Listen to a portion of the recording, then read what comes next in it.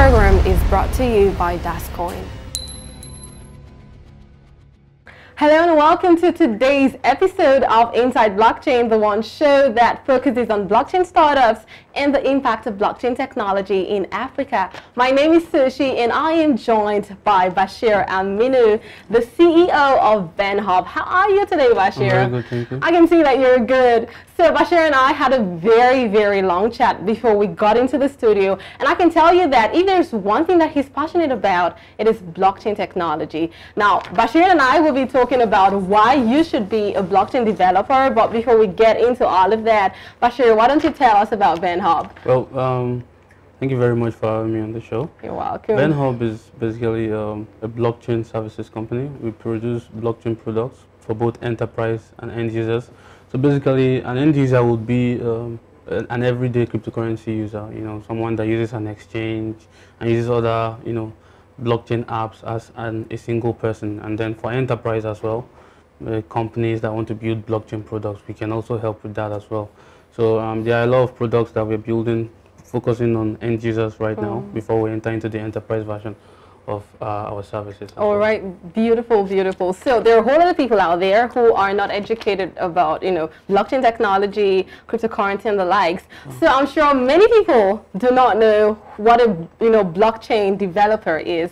So could you just, you know, tell us what a blockchain developer, who a blockchain developer is? Well, a, a, a blockchain developer means, you know, different things to different people, and there's actually some kind of debate as to who actually can call themselves a blockchain developer and not. Oh. While some of the opinion is of uh, a blockchain developer is someone that can build smart contracts, for example, mm. on the Ethereum blockchain. Some of the opinion that if you can build smart contracts on the Ethereum blockchain, you're not really a blockchain developer. You're just an Ethereum developer. Oh. So, um, and um, my own definition of a blockchain developer is someone that can use, that understands the blockchain, the underlying principles of the blockchain technology itself and can apply various tools. It doesn't really matter the tool. Can apply various tools into utilizing that fundamental principle behind blockchain technology and putting it into you know their own um, version of applications as well.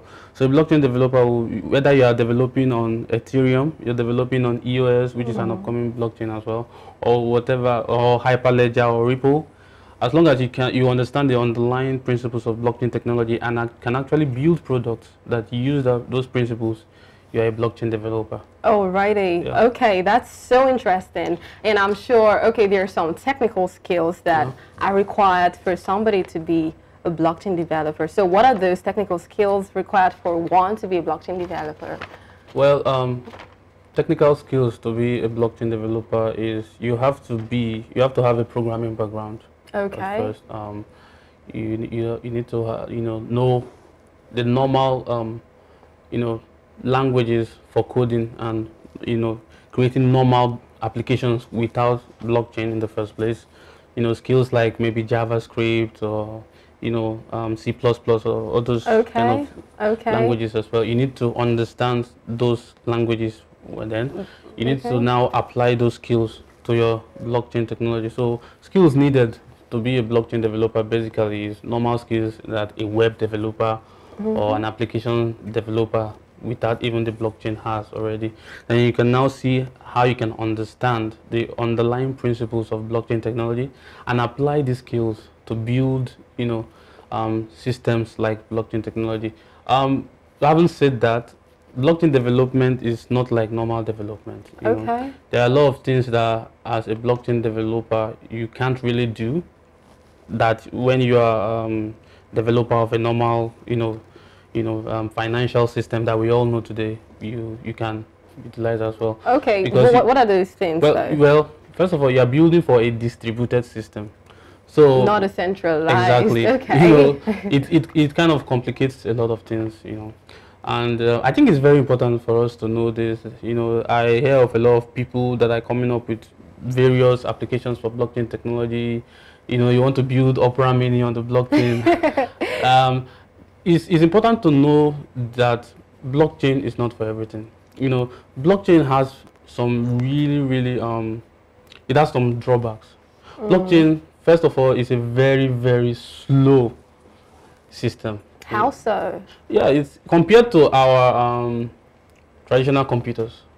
Let's just say a blockchain, for example, the Ethereum blockchain. It's Okay. a supercomputer. That's what they call it.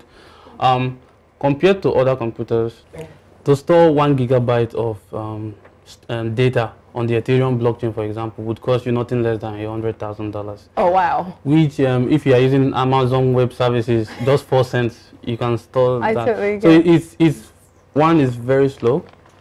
It's um it's very expensive. You know, blockchain is expensive, and um, people don't really know this. You know, everybody is just riding on the hype. You know, I was even to- thinking, Yeah. you know, everybody that comes here, Yeah. you know, talks about the good side. Oh Exactly. my God, it's so No, no, no. amazing. No, no technology, especially a technology like that is so new, like blockchain, can Mm. be all good. Of course, it has its very, um, its disadvantages. So it's, it's it's very slow and it's very expensive. But what it's it, it that's why blockchain technology should be used for what it's meant to be used What for. is it meant to be used it's for? meant it's meant to be used, you know, for systems that need that trustlessness and that that that need to be decentralized. Not everything necessarily needs to be decentralized. Um, um, you know, for what it's good for, it's actually the the only um, computer that can do that in anywhere in the world. You know, but um, for it's it's very good for what it's meant to be to do. Oh, But for right. other thing, everything else is, is pretty is pretty bad. I would love to know what it is meant to be used for. Okay. Could, could, you, could you just step? Well, if if you need to build an app or a system that needs to be distributed and decentralized, okay. that is very that it's um, it has an added advantage of being uh, distributed and decentralized. Then of course there's no um, and it it also provides a level of security that no computer in the world can provide for you. So So, I- you need okay. to you need to find how you can balance all this. You know, okay, are you willing to sacrifice security for cost? Are you willing? To, you know, you need to be able to you know balance what you need and what you don't need before you can decide if blockchain technology is really needed for what you are trying to mm. build. Okay, so I, I need to be clear about something here. Are you of the opinion that blockchain technology should only be used for certain use cases Exactly. and that it should only be confined to, you know, be used for certain sectors and should not exactly be for mass use? Well, in my opinion, blockchain technology can actually be used for any sector, but it should be used for certain parts Oh, of each of those sectors. All right. You know, like in agriculture, for example, you want to be able to, you know, store, you know, um, when you're moving your crops from, you know, from a certain location to when it gets to the table. You, you want medical records, for example. You know, it should only be used for those certain, you know, part of things. But you know, some people want to build everything on the blockchain. You know, it's it's very expensive. People don't really realize that, and it's very slow. It's very very slow. Wow, wow. That, that's like very good on your part. Like I said earlier, a whole lot of people come here and tell us just, you know, the amazing parts of the use of blockchain technology. Nobody really talks about the drawbacks, which you have, you know, come to tell us. That's very nice. Okay, so for people out there who are interested in, you know, being blockchain developers right now, Yeah. where can they get the necessary tools for learning? Where can they get the necessary scholarship opportunities in order for them to gain proficiency in this particular aspect of, you know, developing? Yeah. Um, unfortunately, we are in a very new era. So there's not a lot of resources. There's not a lot of um, places you can go to to learn this technology. Um, and the places that are available are extremely expensive.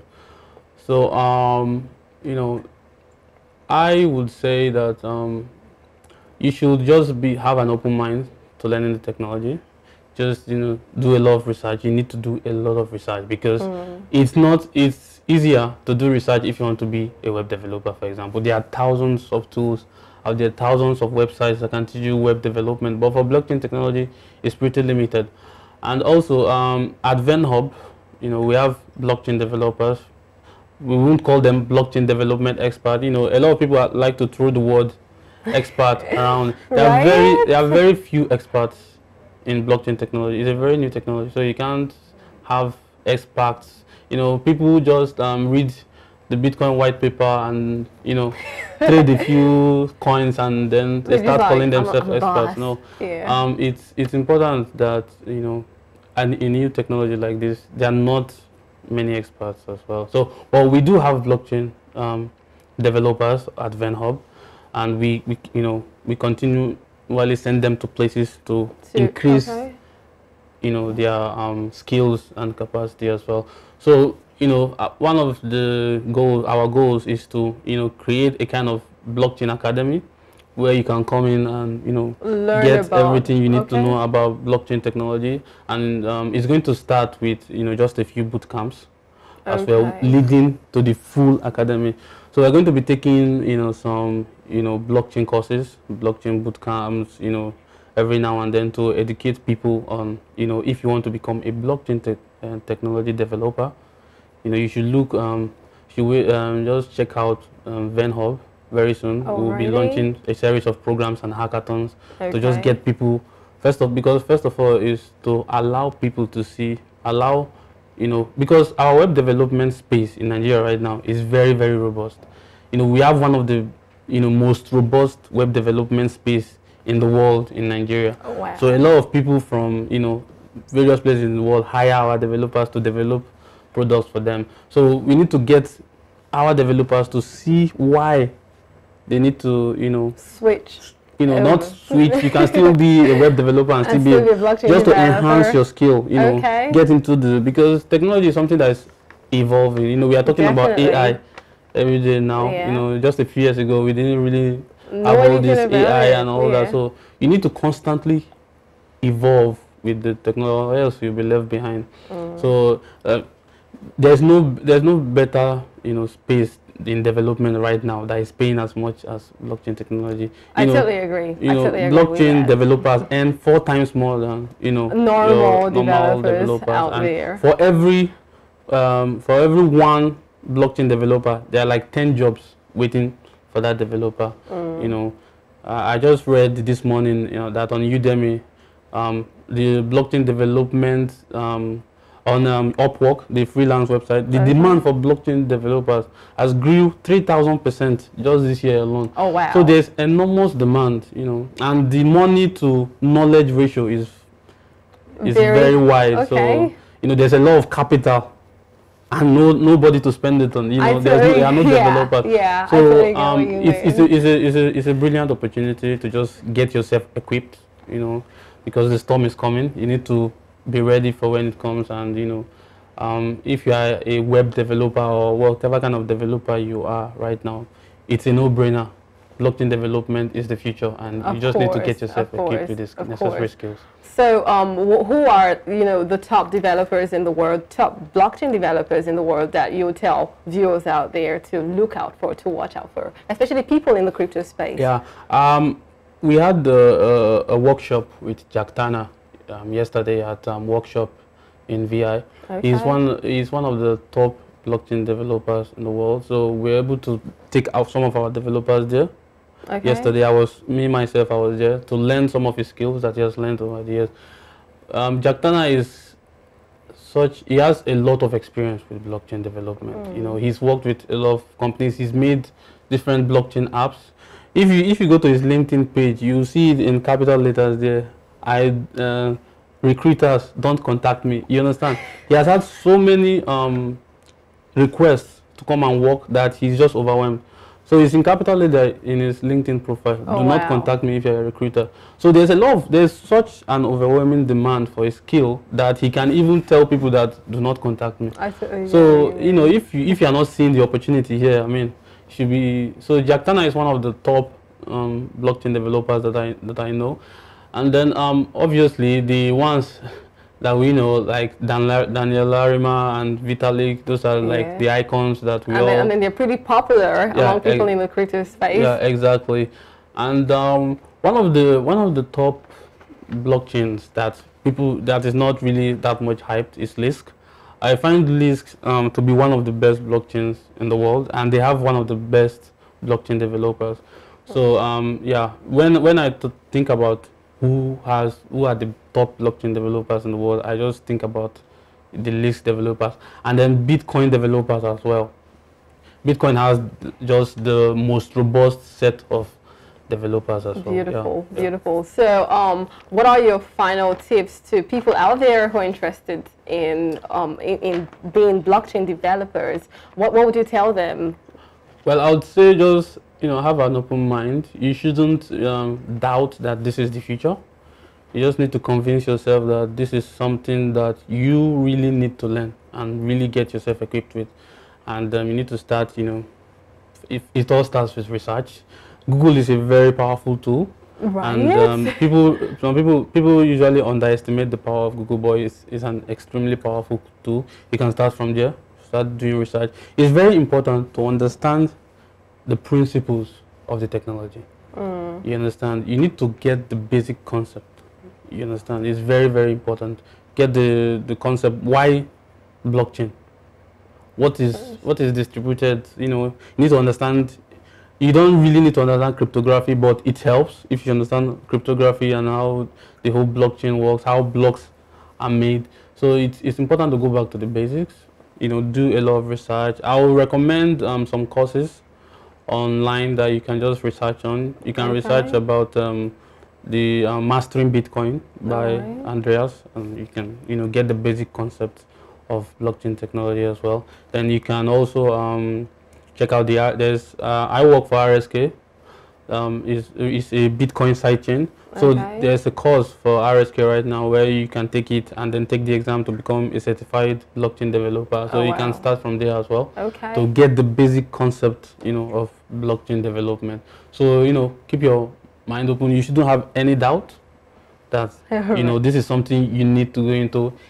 It is extremely lucrative, as in there's no development space that is as lucrative uh, as this right now. So there are basically three kind of developments you can look into if you want to become a blockchain developer right oh, now. alrighty. So you can look at Hyperledger. Okay. You know, it's, it's, a, it's, a, it's a fabric developed by the Linux um, Foundation okay. for blockchain systems. You can look at Hyperledger. You can look at Ripple. Ripple is actually very, very active in terms of blockchain development. And um, you can look at Ethereum. So, so that, those are the three major spaces. And of course, there are the ones coming up like EOS and the rest of them as well. So just choose what best fits you. You know, Hyperledger, Ripple, Ethereum, or whatever one is coming, and Mm. you know, start building yourself. You know, getting research and um, build your portfolio. And you do, you don't you don't need to look for work. You know, as a blockchain developer because the demand there's like 90% demand and just 10% supply. So there's a lot there's a lot to gain a lot of a lot of opportunities Yeah, a lot of opportunities. all right and we have come to the end of this particular segment of the show. My name is sushi and you are still watching inside blockchain and i have been discussing with mr bashir aminu. And if you're a developer and you're out there and you are not yet a blockchain developer you need to get on this particular train because if not, you're going to be left behind. The world is evolving at a very, very high speed and you don't want to be left behind. You do not want to be left behind. I'll go on this quick break and when I come back, you see who my next guest is. Stay tuned.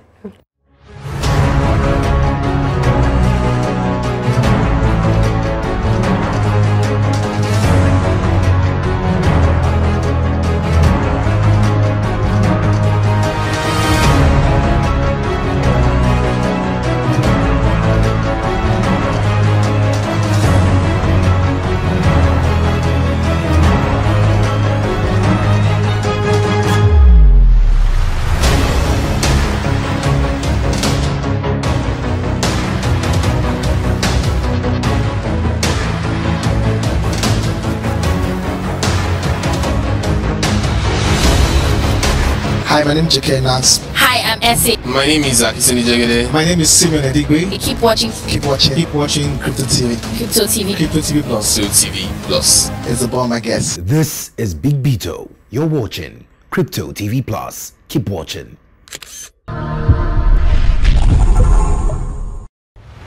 This program is brought to you by Dascoin. Welcome back. Before we went on that break, I was with Bashir Aminu and we discussed why you should be a blockchain developer. Right now, I am with a very beautiful young lady. Her name is Ruth Iselema. How are you, Ruth? I'm fine.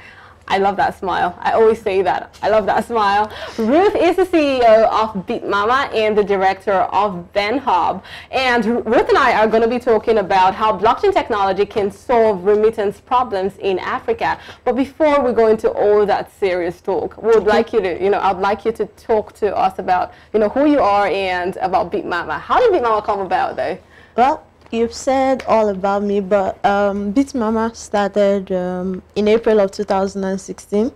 Uh, I saw there was a lot of demand and supply for Bitcoin on the Nigerian market, and I said, why don't I try this out? And I tried it and I loved it, and ever since then, I've not turned back. Oh, wow. Yeah. Since 2016? Yeah. Around 2016, I didn't even know what blockchain technology was. Wow, wow. Okay, so we're going to be talking about, you know, how blockchain technology can solve remittance problems in Africa. Okay. And I, we know that there are a whole lot of problems concerning remittance, you know, sending money from abroad to your home country. Yeah. There's just a whole lot of issues, you know, surrounding that. But you see, um, what a whole lot of people don't know how to pinpoint these issues. What would you say are the problems exactly with remittance in Africa? Um, first of all, I um, I would say the first problem we have is um, delay. Okay. We have a lot of delay when you're sending money from outside the country and when you're also sending to outside the country. Yeah. So um, because of these traditional systems we have before, it takes days, it takes one or two days, and sometimes hours if there are little transactions that need to just go so fast. It Yeah. will take Yeah. maybe seven hours or eight hours before Okay. someone gets it. So in order for us to solve these problems, that's why we need to look into the blockchain. Of course, apparently. But you know these problems. Okay, like you said, delay. I think another you know another problem that is encountered with remittance in Africa is the issue of cost. Okay. Like I want to I want to Yeah. send. Okay, my I have somebody outside who wants to send money to me, and the person will be charged about ten percent of the amount that they're sending to me. Uh, about two, three percent. Okay, give, give or take. oh, okay, beautiful. about two, three percent. But um, with blockchain, I don't want to say using Bitcoin because there are other um, blockchains that you can use in sending money. Which is we have the Stellar, we have the Ripple. Mm-hmm. Uh-huh. So it's cheaper with them. Beautiful. We'll Yeah. get to that part there. We'll get to that part. But you see, this problem, the problem of delay, would you say it's, you know, it, it can be associated with individuals, caused by the individuals, or is it the government? Because I, I do not want to believe that five years from now, I will still want to send money to my mom. I'm Yeah. outside Africa. I wa- I want to send mom, money to my mom. Yeah. And I, I will still experience this kind of delay. And I don't want to believe that. So do you think these problems are actually caused by individuals or the government?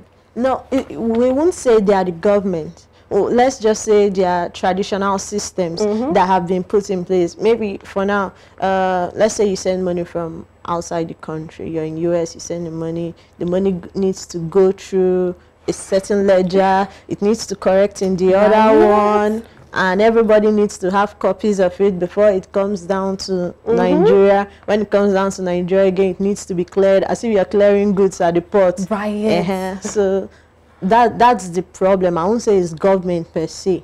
And also some government regulations also cause the problem because let me say in in US you can send ten thousand dollars. But here in Nigeria, if you have uh, ten thousand dollars in your account, EFCC said the bank should notify them.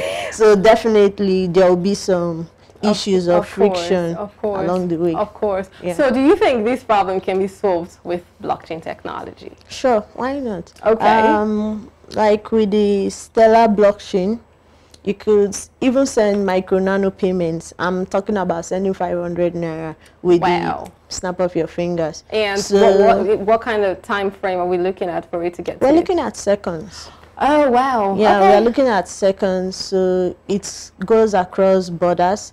And because it's a decentralized system, it's not involved with the whole government regulation, this and that. There's not much documentation Mm. Okay. and everything.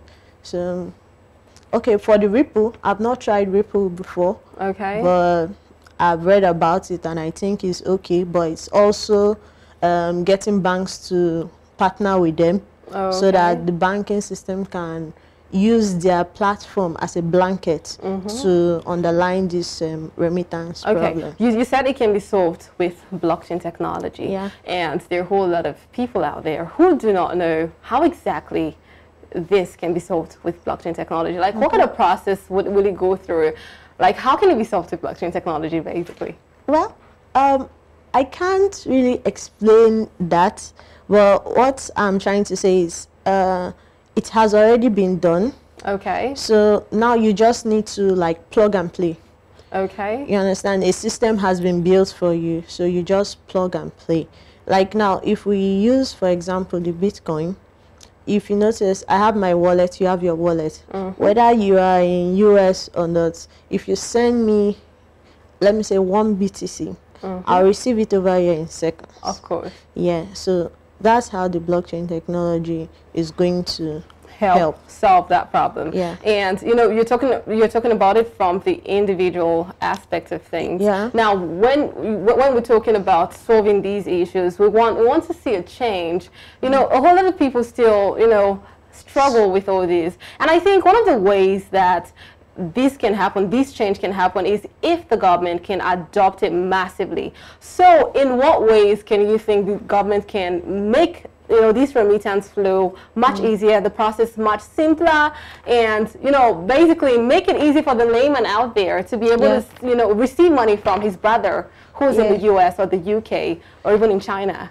Uh, for now, for now, unfortunately, those systems are not yet there. Okay. But we hope the government will work. what would you tell the government? How, how would you Ah. want the government to, to solve this issue? Well, um, if I was the one, I would tell the government to also allow um, MFPs, which is a What mobile mobile financial providers. Okay. That's where you have your Airtel and MTN, the Okay. mobile money. So even though someone doesn't know about blockchain, you understand, they can use mobile money, but their their transactions and everything is happening on blockchain. So Okay. it can't be deleted. It's only immutable. You understand? So that way the government can see what's going on and also the average man on the road can be able to partake in this kind of thing like uh, like as you said this i just remembered a company in ghana they are doing similar thing Oh, they are? yeah okay. so if, if you want to send your money to your loved one at home. All right. you send them in bitcoin. And when they receive it they send your loved one through mobile money. So you see Oh, the person wow. doesn't even need to know that something is happening on the blockchain Right, or something like that they just receive So the person seller out there can use it. The guy that's Exactly. selling Gara out there can use it. That is just so beautiful. Yeah. And we have, unfortunately, we have run out of time. What are you going to tell viewers out there, you know, people out there basically about, you know, blockchain technology? What are your final words? well for now uh, i'll still say uh, blockchain is still young Okay. um, most people feel that oh i have a business and i should just jump on the blockchain wagon no blockchain is not actually for every business. Bashir actually said that in the, in the previous segment. okay. Just like you read his mind. yeah. Okay. It's not actually for everybody. It's for businesses and people that actually um, need to do with records and ledgers. So um, records cannot be tampered with. It's not so i would say instead of uh, before you jump on the hype you should try and read more and try to find out if blockchain is actually for your business or if it's actually for Of you course. before you think about going ahead Of course, of course. Thank Sure. you so, so much for joining me on you. today's show. Thank, Thank you so you. much. You're still watching Inside Blockchain. My name is Sushi, and this is Crypto TV Plus. We have come to the end of today's episode, but don't forget you can join the conversation across all social media platforms. All you have to do is subscribe and follow us on all social media platforms at Crypto TV Plus. My name is Sushi, until I come your way again, stay blessed. This program is brought to you by Dascoin.